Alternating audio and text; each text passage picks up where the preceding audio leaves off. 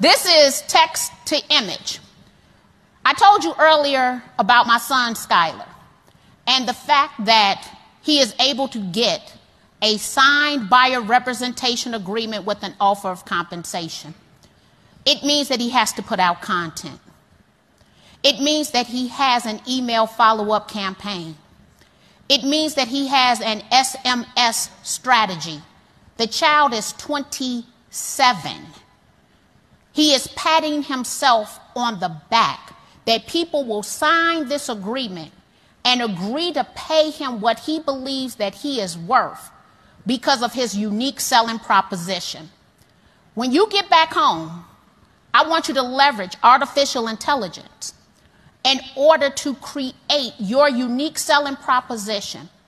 What can you do for buyers in your marketplace that is going to differentiate you from any of your competition to get them to sign a buyer representation agreement with an offer of compensation?